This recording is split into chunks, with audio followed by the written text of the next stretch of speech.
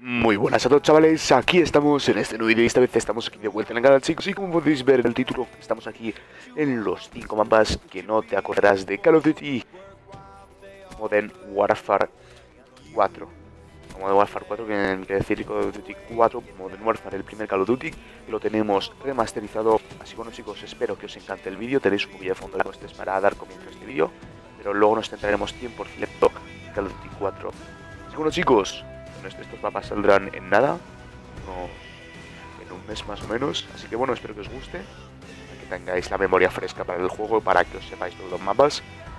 Y nos vemos en el vídeo. Vamos.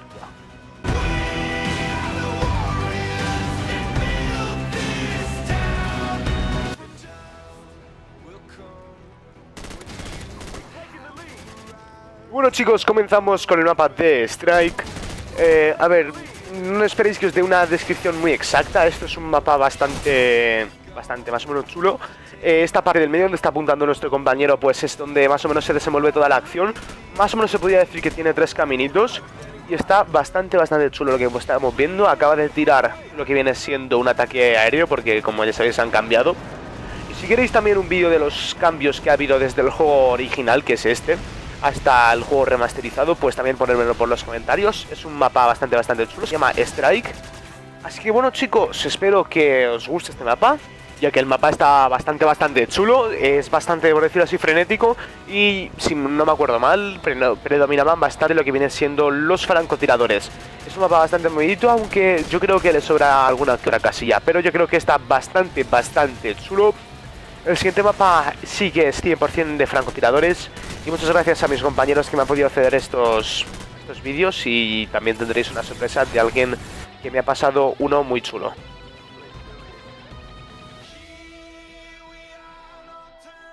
Y bueno chicos, estamos en el siguiente mapa, en el mapa de Block, un mapa bastante, bastante chulo que os podrá recordar a algunos la misión de la campaña. Eh, es un mapa de tres pasillos, esta es la parte central del mapa, pero predominaban bastante los francotiradores, me acuerdo de que reaparecías directamente, tenías un, un spawn de francotirador. Eh, tres, tres lados por mapa, en plan, tres caminos, no creo que sea al 100%, ya que en los dos lados tienes, por así decirlo, un edificio, que creo que, si no me acuerdo mal, tenía la parte de arriba y la parte de abajo. Lo que no me gusta mucho de los mapas del Call of Duty 4 son que son en plan muy enrevesados en lo que viene siendo en la parte del respawn. Pero este mapa para francotiradores está bastante, bastante chulo. Está es un poquillo apagado de tono. Pero, veis, ver, aquí tenemos la estatua donde se puede desenvolver también mucha acción. Así que pasamos al siguiente mapa.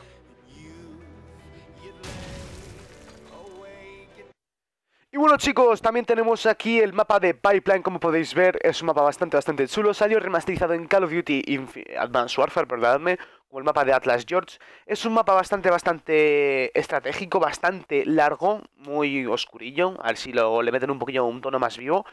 Eh, está muy pero que muy chulo como podéis ver, tiene una parte central, tiene tres caminillos, pero es un poquillo enrevesado, con lo cual no me gusta del todo. Es algo bastante lo que viene siendo bastante frenético y está bastante, bastante chulo. A ver cómo lo enfocan en esta remasterización. Así que bueno chicos, espero que os guste y pasamos al siguiente mapa.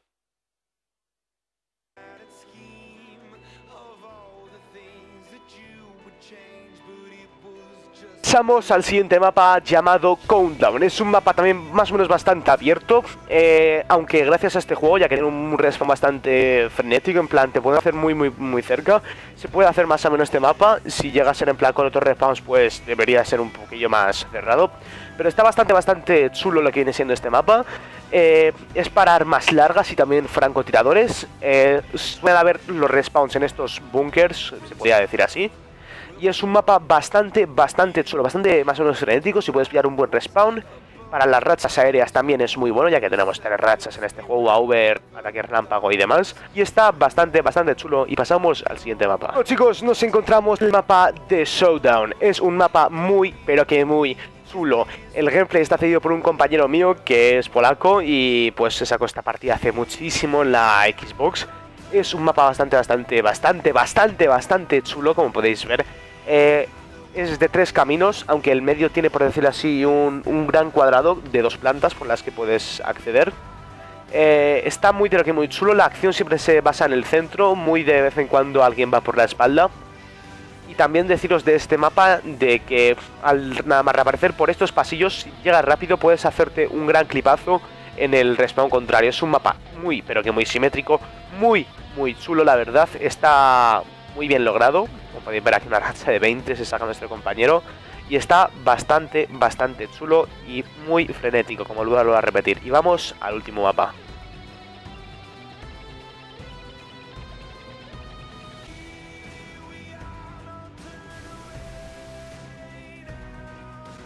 Bueno chicos, estamos aquí en el mapa de Wetwork o Trabajo Social, como queréis llamar.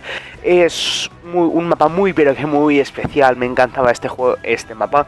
Eh, recuerdo haberme sacado muchísimas, muchísimas partidas. Es un mapa que sale en la primera misión de la campaña del Call of Duty 4, la campaña que da comienzo a un juego muy, pero que muy grande. Y sinceramente es uno de los mejores mapas que han podido hacer. Es un barquillo ahí in the middle. Este mapa me encantaba y además quiero darle muchísimas gracias a mi compañero Bri, su canal en la descripción, ya que me ha cedido este gameplay junto con cargamento y muchísimo más. Está jugando mi compañero Bri pues en el modo de cuartel general extremo para sacarse algunos clipazos que lo dice en el propio vídeo. Y a lo mejor al final tenéis ahí un poquillo de, su voz. Eh, este mapa eh, se resume en un barco con, lo que vienen siendo bastantes coberturas, como podéis ver, headlights y más cosas, pero que no se usan mucho, ya que en este juego lo que viene se te incita al frenetismo. Eh, está bastante, bastante chulo este mapa, es muy frenético debido a los respawns, no reapareces de una punta a la otra del mapa, siempre el juego tira a que reaparezcas más o menos cerca de tus enemigos para que no te demore tanto en correr durante todo el mapa para encontrar a tus enemigos. Es un mapa para, para todas las armas. Las piñas en este mapa van muy, pero que muy bien. Todos, creo que todas las armas, menos las ligeras, salen en este mapa bastante bien. En plan, bien paradas. Es un mapa muy, pero que muy chulo.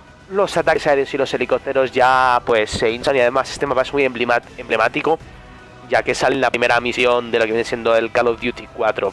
Tengo mucho, mucho cariño me acuerdo que en este mapa me hizo una piña un más 80. Fue de lo más vasto que me he sacado. Y está muy, pero que muy chulo. Quiero saber cómo, cómo lo van a hacer. En plan, visualmente, cómo, cómo se lo van a currar para que se vea este mapa. Se verá más o menos como en la campaña, pero espero que un poquillo más porque estuvo muy muy chulo este mapa que me marcó. Así que bueno chicos, espero que os haya encantado este vídeo. Si es así no olvidéis dejar vuestro like y si queréis más vídeos como este de curiosidades, mapas, todas, todas las cosas del Call of Duty, pues dejármelo por los comentarios chicos. Me ha gustado muchísimo hacer este vídeo, así que dejar vuestro like, comentad en la sección de comentarios, tenéis el canal de Ori en la descripción. Y poquilla cosa más, espero que os haya encantado al igual que a mí y nos vemos en la próxima. Adiós.